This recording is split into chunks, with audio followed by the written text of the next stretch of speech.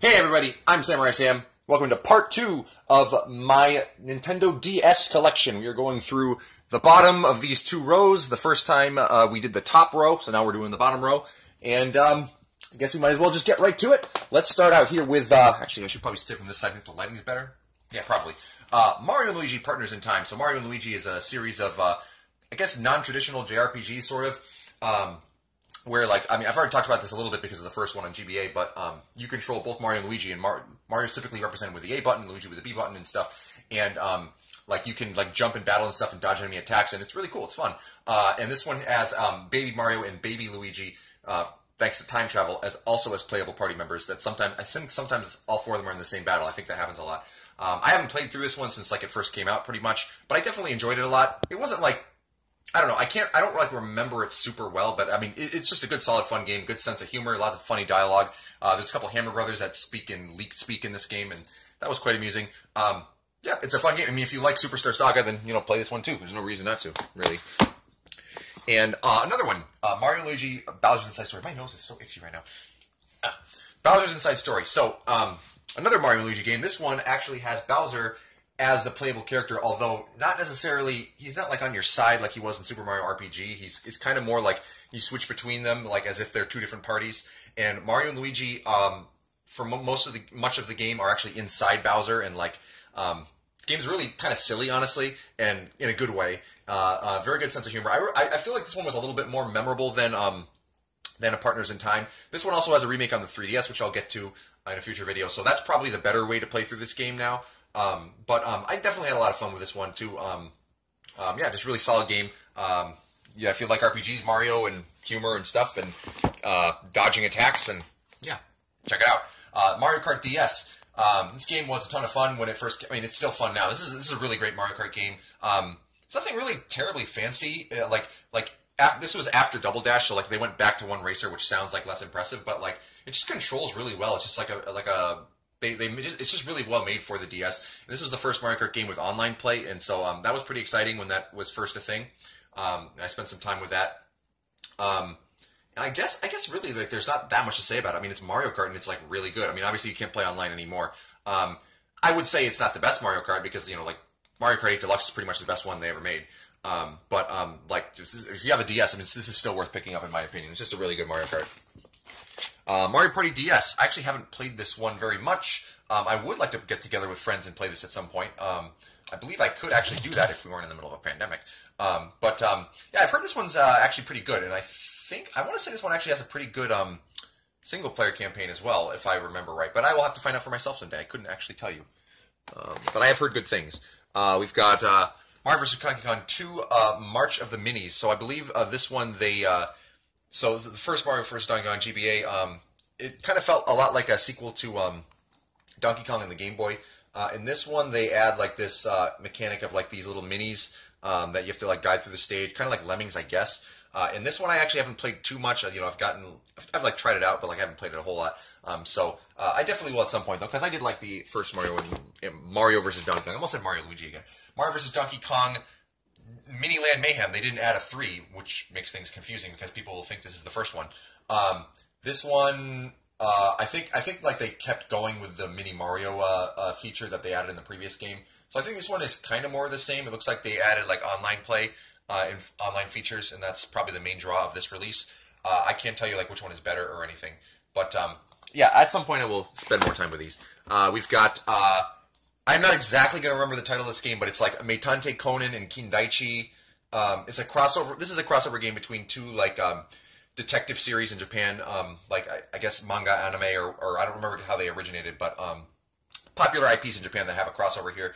And um, you know, it's kind of like murder mystery kind of game where you like, you know, I'm guessing kind of along the veins of Ace Attorney, but probably quite different. Uh, this one has an English translation patch, which is why I own it because I, I do intend to try it sometime. I have not tried it yet. Um, but I am interested because I do enjoy this type of game. I, am not familiar with the IPs, like the characters these are from, too much. Like, I mean, I know who Conan is, but like, I don't like know anything about it. I believe, uh, by the way, Detective Conan is known as Case Closed in the few localizations it has had outside of Japan, for whatever that's worth. But um, at some point, I will check that out and maybe have more of a solid opinion. Metal Slug Seven. This is kind of an interesting choice, kind of like Contra Four. Like, why have a um, kind of interesting to have like a, a main installment to this series on the DS, like a numbered installment. But um, Metal Slug, uh, I don't like Metal Slug as much as Contra in general, but um, yeah, at some point I'll give this one a shot and see if this is like better than the first six Metal Slugs or first seven maybe. Um, but um, I really like the case that this game comes in. It has like a little plastic sleeve that's just like shiny and really cool looking. Um, so I wish I could say more about it, but you know, it's Metal Slug. It's the kind of game. It's kind of run and gun sort of game. Like uh, you can get in these tanks called Metal Slugs and like different weapons and rescuing hostages and stuff. And like a lot of the games in the series feel very quarter eater ish, but I don't know if maybe that's any different with seven. Here's Meteos. This was an early DS game and one of the first. I mean, one of the early ones to come out, and one of the early ones I also got. I got it like basically when it came out. Um, it's a kind of a puzzle game where you. It's a stylus based puzzle game, and like you uh, you can only slide things up and down rather than left and right, and you try to like um, line up you know similar colors, and like they start uh, launching, but like they don't launch all the way at first. Like um, a little hard to explain. It's a lot easier to like see it and understand it than for me to explain it. Um, it's pretty good. I like the music in it too, but it's not like super memorable. I haven't like really felt much of an urge to revisit this game. I did enjoy it when I when I uh, first got it, but um, I'd say if you're into this type of game, then check it out. Otherwise, it's optional. Uh, here is Mystery Dungeon Shiren the Wanderer. This is actually a, a remake or enhanced port, maybe, of uh, Fushigi no Dungeon 2 for the Super Famicom, which I did actually show off in a previous episode. And that is a really great game. And likewise, this is also a very good game. Um, they add a, they tweak a lot of things in this. It is not a strictly better version. Um, one thing uh, that I did find disappointing is that the music is definitely worse than the Super Nintendo version. I don't really think there's an excuse for that, and I think that's kind of disappointing. But um, uh, the gameplay, like they tweaked various things for better or worse. Um, it's a little easier, I think, uh, than the Super Nintendo version, but still plenty difficult and challenging. Um, and yeah, I mean, if you like good, challenging old school roguelikes, I mean, you can't go wrong with this game. This is kind of a buried gem, in my opinion. Um, underrated, um, and probably, I mean, I can't say how it ranks in like the whole Shiren series because there's still like a few Shiren the Wanderer games that have not been translated into English, and they're really not playable in Japanese for non-Japanese speakers. So, um, but uh, this one, you know, I definitely recommend it. It's a good game. Here is uh, New Super Mario Brothers. This is uh, well, this was like the first uh, side-scrolling Mario game in many, many years. Like the first one since Mario Land 2 on the Game Boy, I think. Um, and uh, I didn't think it was as good as the previous games. Like, um, I remember being very hyped for this game, and then like, I mean, it was good, but like, it didn't, it didn't, the levels like didn't strike me as inspired the way that like other Mario games do. I actually, well, one of the sequels to this I did like a lot more and was very impressed by, but we will get to that one when in a future episode. Um, I mean, it's still this is still worth playing. I'd say it's a good game. Uh, there's also a lot of really fun uh, touchscreen mini games on here that you can play with friends and stuff, and um, so it's it's worth picking up for that as well. Um, well, I mean, it's nothing that's going to set the world on fire, but like it, it's cool. There's some cool like bonus stuff in here. It's a solid Mario game. It's nothing like too incredible. Here's Ni no Kuni, uh, Wrath of the White Witch. Um, yes, this was originally a DS game, and then it got remade on PS3. And this one is actually more of like a turn-based RPG, whereas um, the one on PS3 was like a little more towards action. Still like somewhat turn-based, but not like really. Um, and I can't really say too much about this one. I, I did play and really enjoy the PS3 game. Uh, this one I got for really cheap, and it does have an English translation. So at some point, I will give this one a whirl and see if um, see if uh, you know just how different it is, or like you know how much I guess of the charm is still there, or what have you. Um, it'll be interesting at some point. Nine hours, nine persons, nine doors. This is the first in what is known as the Zero Escape series, and um, it's a visual novel type of game. Um, where you're all trapped in a uh, in a in a boat and you are trying you, basically you solve a bunch of puzzles uh, like you go through like the kind of these escape rooms and um uh, well i mean the game is heavily story based it's this one um, more than even other visual novels feels almost like a book made into a video game because uh, like there's a lot of very like descriptive text almost like you're reading a book um, it's not like the game like describes a lot of stuff it does like there are visuals and like you see things happen and there's animations but like um, the game definitely likes to describe things um, with like elegant language or descriptive language. Not always elegant. Sometimes it's very violent. But um, this game's got a very uh, good and interesting story and a um, you know a bunch of branching paths to go on and like. Uh, um, it does that really well. I mean, it can't say too much without spoiling anything, but um, you know, if you like story-driven games, this is definitely a game that's worth playing, uh, and the rest of the series too. Nostalgia. This is a game that a friend gave me, and it's an RPG, and I can't really say too much about it. it seems like possibly kind of an interesting JRPG. At some point, I'll give it a shot and see if, like, you know, I want to stick with it. I have less patience for RPGs than I used to, um, in part because they're so long and I have so much to play. Um, but you know, I still kind of, I don't want to give up on the genre as a whole. And now we're here at one of my favorite games, like ever. This is Os Tatakae Ouendan. Os. It's more like Os. They pronounce it Os in the game. Os Tatakae Ouendan. Um, which basically translates to Go Fight Cheer Squad. Um, and basically, um, this is the Japanese equivalent of Elite Beat Agents. This is what Elite Beat Agents was based off of. Um, this is a rhythm game that uses the the the, the uh, stylus and the touchscreen, and it is super duper fun. It's it's um, I, I just absolutely like adore this game. Like uh, the the the basically you cheer on like these different people in these different predicaments, and it kind of plays out like a comic book style. Um, and like how you do in the songs, like kind of affects partially what happens to them, and that's really amusing. And the, I, I, really like the music a lot, and the gameplay is is really addictive and fun. And um, it, it's just it's just a really great game. Like I, I, I this this, is, this was a game that like I was really excited to find out about like early in the DS life cycle, and was very happy that the DS had no region protection. I imported it like the year it came out, just like a few months after it came out, and didn't regret it. Actually, the uh, only Japanese game I have ever pre-ordered in my life, I believe, if I remember right. At least the, the only regular retail Japanese, I guess. I don't know. Probably the only Japanese game I've only ever pre-ordered is Os Tatakae Ouendan 2, which came out after Elite Beat Agents, actually. Um, and this one adds uh, certain uh, quality of life features uh, that were added in Elite Beat Agents, plus even more.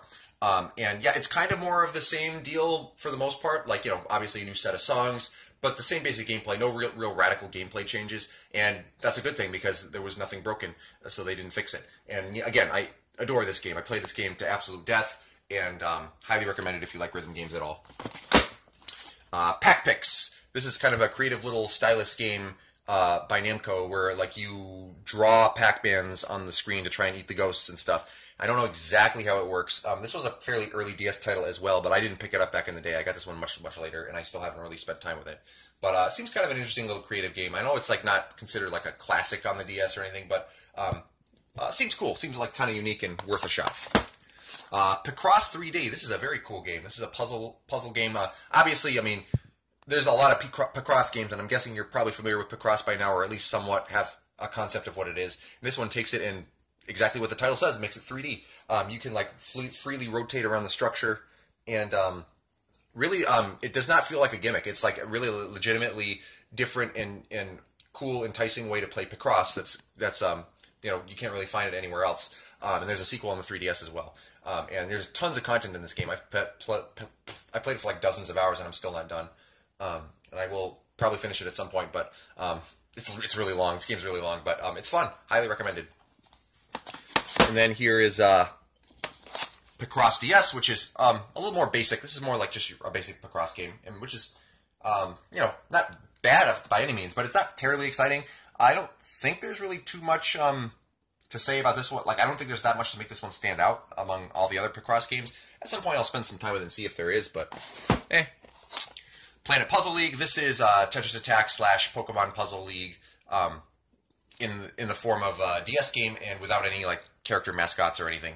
Um, and I haven't really spent time with this because, like, uh, I mean, the only kind of real reason to is for the online. I think, like, I don't think there's really that much like new here that you can't already get in Tetris Attack and Pokemon Puzzle Challenge, um, or Puzzle League. I'm sorry, Challenge is the Game Boy one. Um, so, all right. Um, I mean, I, yeah, it's a great game because like I, I love Tetris Attack. It's so good. Uh, but like, this is not. This doesn't seem like a version that like I really want to go back to. Um, but I kind of want to have it in my collection anyway because you know it's it's Puzzle League. I love Puzzle League basically, or Tetris Attack, what panel de pong, whatever you want to call it. Uh, Plants vs Zombies. This one comes in like a cool little uh, plastic sleeve as well. And Plants vs Zombies, I want to say like it started out as a mobile game. I could be wrong though, um, but it has to do with. Um, yeah, I don't know exactly how to describe it. I've never like delved into this, but it seems like a interesting kind of like versus style game. Um, that uh, I would be definitely interested in trying this out with a friend at some point. Um, I'm not sure if this is like the best uh, version of Plants vs. Zombies that exists, but I'm imagining the DS touchscreen is probably pretty good for it. And now we're getting to many, many Pokemon games. Uh, here is a Pokemon Pearl. Uh, this one I got when it came out. This is the start of what was called Generation 4, along with Pokemon Diamond. Um, this one made some very cool, relevant, and quality gameplay changes to the series. This was uh, the first one to go online, um, and this was also um, the first one to I mean, I could really go into like Pokemon uh, uh, advanced metagame talk here and talk about how this one added the physical special split, as they call it, um, which um, really helps balance out the game well. Uh, like, I, am not going to explain like the mechanics of Pokemon now, but like basically they made tweaks to the, the formula that were, were really cool. Um, as for the game itself, though, like it's not one of the more memorable Pokemon games for me. Like the campaign itself is not not especially great. Um, and also another problem with this one is that it's very slow. It's like the slowest game in the whole series. Like battles take seemingly forever sometimes, especially if your Pokemon have a lot of HP. Um, they did, and yeah, this is this is the the point of the series where it was the slowest, and they did kind of fix it after that. But I mean, it's still a really good game. Uh, and here's Pokemon Platinum, which is basically Diamond and Pearl but better, um, and like you know some quality of life improvements. I believe they made it a little faster, although still kind of slow, and um, you know new story elements um, and all that. Like you know, it's one of those third versions of the Pokemon games um, where they kind of make the definitive version like a year after or two years after or whatever. Um, I do recommend it. It's not like the best Pokemon game, but this now we're getting to like three of like the best Pokemon games, like prob- probably my three favorite like in the whole series. Here is uh, Pokemon Soul Silver. Um, Pokemon Silver and Gold and Crystal were already like really really great games in the series, and this one takes like everything good about them and just makes everything better. Like obviously new, bring all new graphics and stuff, um, new gameplay features, like like all the quality of life stuff plus like new stuff, and um, like uh, it's it's it, they really like um, improved the post game a lot. Like the post game was really cool in Gold, Silver, Crystal, but felt a little bit thrown in. And this one, they really they really uh, tweaked it so that it feels a lot more um, legitimate and and uh, worthy of your time. Um, and um, it's, it's just really really great. Like this is just about like 2010 to 2011, 2012. Like that's when Pokemon was hitting its peak, and it started with these games. This and Heart Gold. Very happy to have them. Have to have Soul Silver anyway. Uh, then Pokemon Black the start of Generation Five, as they say, and um, this is a uh, fantastic game. Um, this one has the best storyline of any game in the Pokemon series. Not that this Pokemon game, I mean, that's not saying a whole lot. The Pokemon games have not had like really great stories, but this one um, has the most interesting story of all of them, and um, a lot of quality of life improvements. Um, and um, like I said before, Pokemon Diamond and Pearl were really, really slow. This one fixes that very much. Like if you turn off the animations, the battles go by super fast. And um, yeah, just very much. I'm very much a fan of this game. Like, there's lots of content, lots of cool stuff to do after the main quest, and um, this actually has 150 new Pokemon that like you will only see them during your initial playthrough. Um, like you don't, they don't rely on like a lot of the old Pokemon in this one, like they do in some other games. Um, so yeah, you get a very new experience with this, um, and it, yeah, it's a really great game. Highly recommended. And then Black Two is even better. So instead of trying to make a like a spruced up alternate version of black and white. They actually just went ahead and made a sequel, and I think that was better. Um, I think the storyline is a little bit less good than Black and White One, but everything else is better. Um, they added even more quality of life stuff. I keep saying that, um, and like um, just you know more new features and more areas, and and um, this one does actually have like a mixed Pokedex with like old and new Pokemon, and um, triple and rotation battles are a really cool addition to this generation, and you'll actually encounter them in like the main quest in this this uh, in this one the only game in the entire series where that is the case. And yeah, these this is probably my favorite Pokemon game of all time. It's really, really, really good. Uh, here's another early DS game, uh, Polarium. Uh, this is a touchscreen kind of puzzle game where you um, use a stylus to like make a line that cannot overlap and try to like make the rows all black or all white. And you can do like a, there's like a few different modes, and it's it's kind of cool. Like it gets really hard. It seems like really fast. Um, so I never like was able to progress too too much in it, honestly. Um, but yeah, it's a neat little game. If you like puzzle games, check it out. Uh, here is uh, Professor Layton and the Curious Village. So Professor Layton games are kind of like puzzle books um, if puzzle books had a story attached. That's how I would explain it. Like there's a bunch of different puzzles you come across that are very much what you would find in like a puzzle book that like your grandmother likes. Um, but like you know, there's a story here with like kind of charming characters and stuff to go along with it, and um, it's fun. Um, it didn't blow me away or anything, but um, cool little game. You know, if you like brain teasers, it's definitely one that's worth checking out. Then Professor Layton in the diabolical, diabolical box is honestly kind of more of the same. I don't really have like too much more to say about it. But then they made a Professor Layton and the Unwound Future, which is the best game in the main series, in my opinion. Um, just everything feels better in this one, um, and the storyline is way better than any of the other games in the series. Um, and yeah, I really, really enjoyed this. Like, it was, it's worth playing through the first two just to like experience this one. Honestly, um, really good game. And then they made Professor Layton and the last last Spectre. And honestly, I was disappointed by this one. This one was made after Unwound Future, and it is not nearly like as good or interesting in my opinion. It does have this um, additional mode called London Life that I guess some people might like. um, but didn't really seem that appealing to me. Uh, the European version got shafted for some reason. They took out the London Life. I don't know why they did that, but um, yeah, um, I would say honestly, stop it Unwound Future. I don't think. You really, well, actually, there there are the games on the 3DS, so those might be worth playing, but I don't know.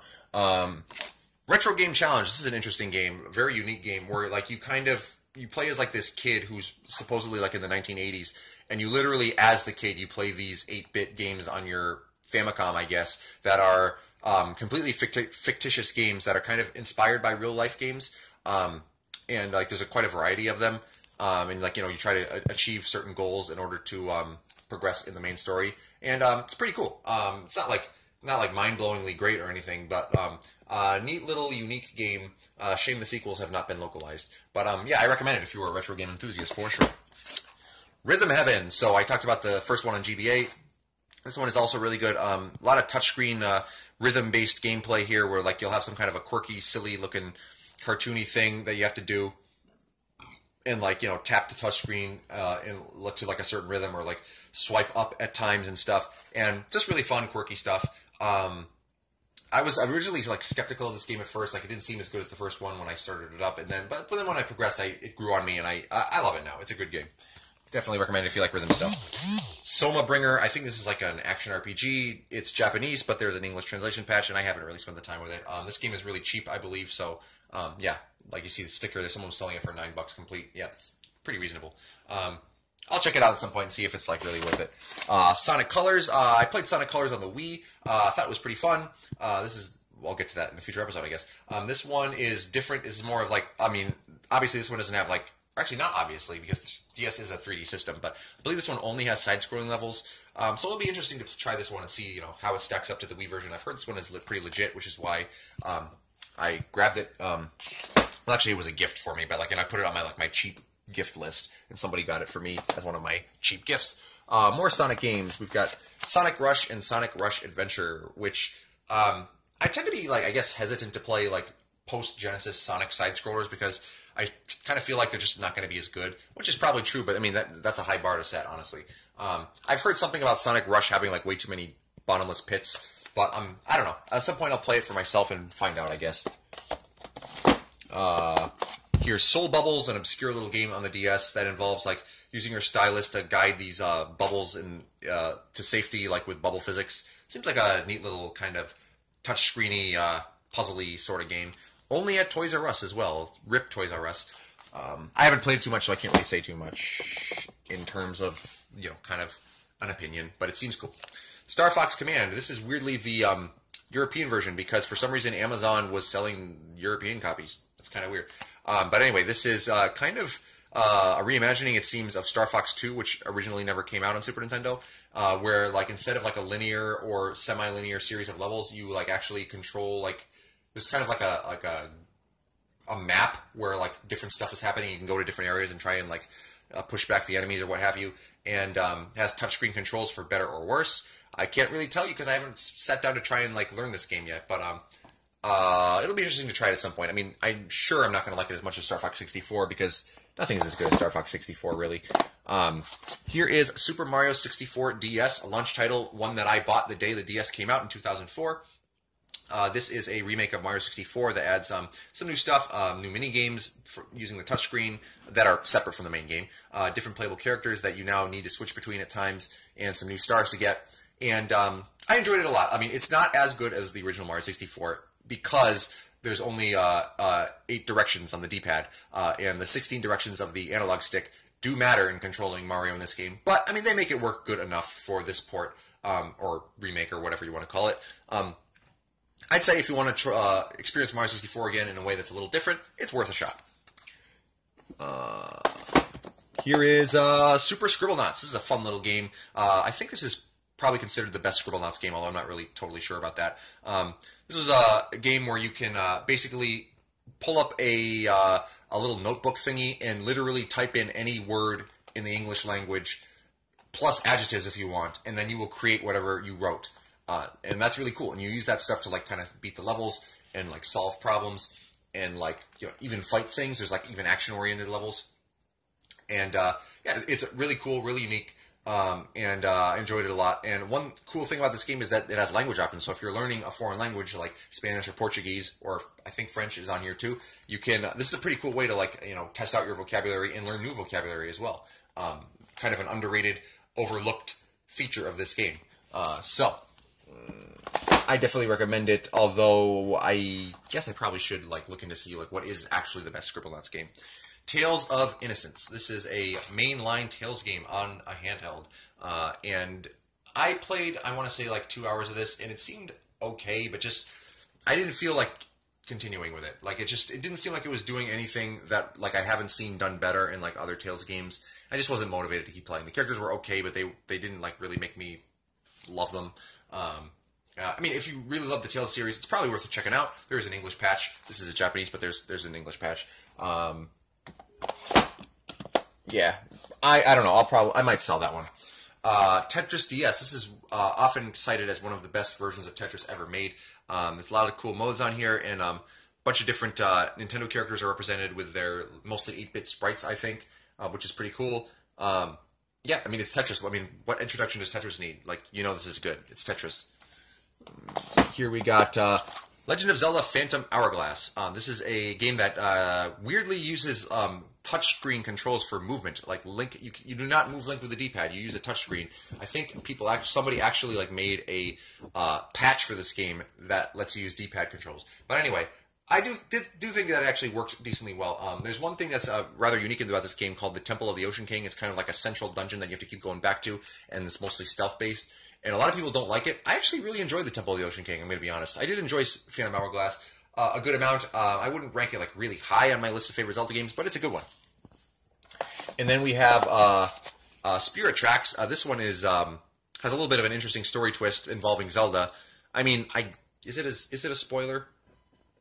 Yeah, I mean, like Zelda is basically your companion, and um, you have to like use her to help you out, and it's it's uh, uh there's an amusing little twist in it early in the game. Uh, but I didn't like this one as much as Phantom Hourglass, and there were definitely some moments in here where it felt uh, very obtuse. Like the progression seemed like it seemed very difficult to figure out what to do next. Um, but I mean, it is a cool game. I like the soundtrack. Um, it's, it's still, you know, it, there's not many bad Zelda games. I kind of like all of them, really. Um, here's uh, the legendary Starfy. We finally got a Starfy game in America after four only in Japan. And this one actually is the only one I haven't played. I, I, I played the four in Japanese, and then I didn't play this one that's in English. Uh, and honestly, maybe I'll get rid of this one because like the Starfy games, I mean they're okay, but like they're they're just okay. Like I don't like cl- clamor to go back to them. Um, they're cute, they're amusing, probably good for kids games, and I mean I mean they're probably enjoyable for adults too, but just like not anything like it's gonna blow your mind. Um, like I'm a little more picky with what I play now. Uh, here is a game that was definitely worth my time and one that I may go back to someday. It's The World Ends With You. This is a really unique, I guess you call it an RPG, um, and you use the touchscreen and the dual screens uh, to fight in this game in a way that really doesn't fully work on like any other platform. Like this is a game that's very specifically made for the DS. Uh, this game has a very distinct style and uh, great soundtrack and uh, cool story and interesting characters. Very unique game. Very very cool. And um, yeah, this, this, is, is a, definitely a standout in the DS library for sure. This is still probably like the main version. There are ports of this game, but this is like the version you want to get, I think, on the DS. Um, uh, very unique, standout game, and I recommend it wholeheartedly. Uh, here is uh, Tony Hawk's Downhill Jam. Um, this is, I think, different than the console versions and somehow, uh, and I've heard it's good. Like, I've, apparently, like the DS uh, Tony Hawk games are pretty good for the most part, and um, this one was like really cheap, and it's like hey, hidden gem, why not? I'll try it out. I like Tony Hawk, and I haven't actually like spent the time with it yet, but you know, I will sometime. For now, it sits on my shelf. Uh, Trace Memory. Uh, this game is kind of one of those. Uh, well, it's it's it's kind of like a story-driven puzzle game, I guess you'd call it. Um, I don't I don't think I would call it a visual novel, but like it's more of a it's more of a like it has a story, but like you're the focus mainly is solving puzzles, and sometimes you have to really think out of the box to solve the puzzles. I played this game for like I want to say like three or four hours, and then I just kind of put it down and didn't come back. So I probably would have to start it over. Uh, it's kind of neat. Like if you like puzzle games, it's probably worth a shot. Um, I don't know. Maybe I won't hang on to this one. I don't know. Um, because like I just I didn't play it that much. It didn't it didn't keep my interest that long. Um, but uh, you know, it might be worth checking out. It's definitely not a bad game. And there's also a sequel on the Wii that only came out in Japan and Europe for some reason.